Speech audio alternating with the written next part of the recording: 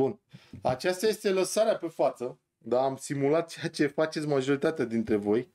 Asta este o poziție pentru cei care ați fost la lecție și foarte bine. Este o poziție a brațelor, da, deci de aici eu încep aruncarea. Este o poziție a brațelor cu o cursă pentru distanță dorită. Distanța dorită nu este distanță, nu este egală cu distanța maximă.